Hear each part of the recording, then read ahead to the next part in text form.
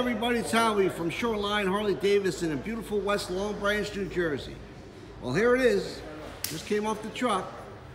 Brand new 2023 Fast Johnnie Lowrider ST. It's on the floor. It's ready for immediate delivery. This is the enthusiast bike.